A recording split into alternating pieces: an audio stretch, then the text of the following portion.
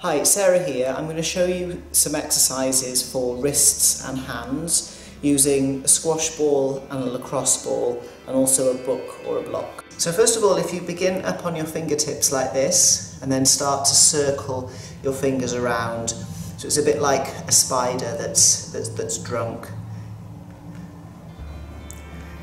And if you do about 20 circles each way,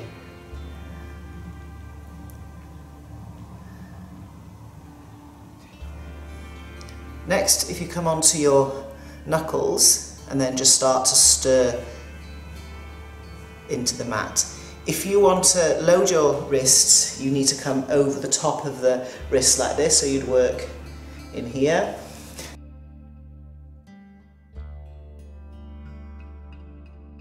You can lift up here, that's more advanced.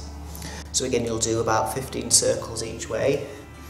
Next, if you put your hand in front, other hand on top, and then start to stir around like this. Just stirring away. And I do about 15 each way. See if you can keep the thumb down as well. So from a different angle, hand down, try and pull it out, and then stir this. So it's a little bit of mobility. Next, this is a bit complicated the first time. So you need to get the lacrosse ball to go on this angle here and I'm going to press down. So the idea is to spread out these bones in the, in the wrist here. So I'm going to press like that. So from the front it'll look like this.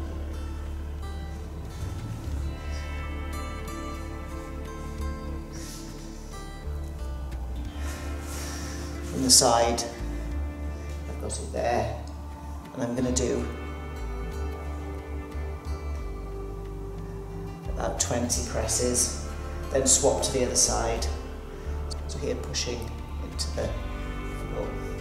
So next, if we come into the squash ball squeeze, so you can squeeze the ball like this. I do about 20 per side.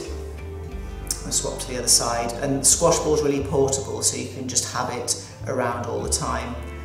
With a squash ball, it helps also to open out this to see how it's spreading in my hand as I'm squeezing. It also helps to strengthen little muscles in here. So for a really cheap and easy um, shoulder hack, that's squash balls a really good one. So here, you're going to press the, dangle the wrist off the back of the block. So from this angle, you can see, I need to push. And I'm going to try and push my hand up like this, but stop it with the other hand over here. So if my hand wasn't on top, this would happen. We're just doing a muscle energy technique for the wrist. So it's dangling off the end, and I try and push. So the timing would be breathing in, push, and then breathing out, stretch a bit more. Same on the other side. Wrist stretched off the block or the book here.